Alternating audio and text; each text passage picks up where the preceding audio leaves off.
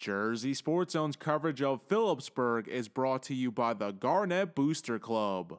Phillipsburg is no stranger to honoring their glorious past. The Garnet Booster Club, sponsoring all state liner athletics, unveiled its second class into the Phillipsburg Hall of Fame. The seven nominees include gridiron legends such as the 1918 football team and their all state quarterback Clayton Willever, which helped bring home the program and New Jersey's first state title, collegiate All Americans Ted Dailey and George Sammy Moyer, three sports standout and coach Rick Thompson, the State Liners' winningest wrestling coach with a record of 268 wins, 54 losses, and one tie. Eileen Clymer Schwab, who earned 12 varsity letters in field hockey, basketball, and softball. And Mary Jane Deutsch, the eight time varsity letterman in basketball and softball, was in attendance as her peers announced her legacy will stay cemented at Phillipsburg for years to come. It's exciting. You know, Phillipsburg's been a big part of my life.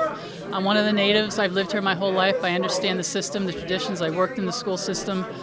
Uh, and it's nice to see some girls be recognized. It's great to see this Hall of Fame get, get off the ground because there's a lot of great athletes and coaches that have been part of our past. And uh, it's, it's very rewarding, and it's also a big, a great benefit for our student athletes to actually see how much tradition's here and, and how the people support them.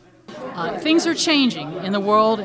Uh, there's a breakdown of communities, but back in that time, back in the air, and even today, the Phillipsburg Sports Program is what keeps our community together. The traditions are alive, people love it, and it really provides a great motivation for everybody, young and old, to come out and see our sports programs. The Garnet Booster Club will honor its inductees with an official ceremony on Sunday, April 24th. For Jersey Sports Zone, I'm Nery Rodriguez.